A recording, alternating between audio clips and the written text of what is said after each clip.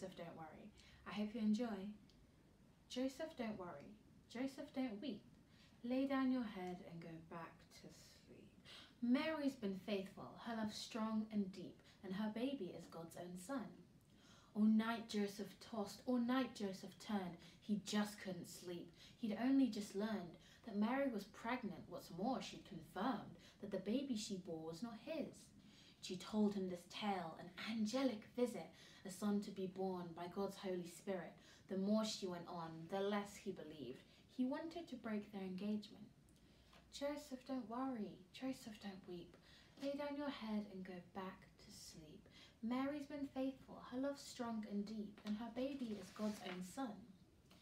But just as sleep came, that angel appeared. Don't worry, he said, there's nothing to fear. I know that you're troubled, so you need to hear that Mary is telling the truth. The baby she bears is God's holy son.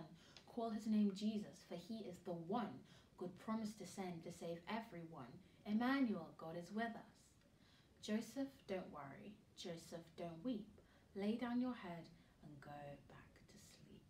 Mary's been faithful, her love strong and deep, and her baby is God's own son.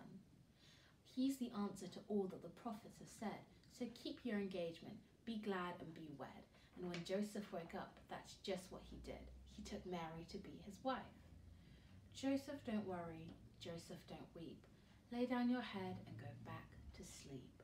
Mary's been faithful, her love strong and deep, and her baby is God's own son.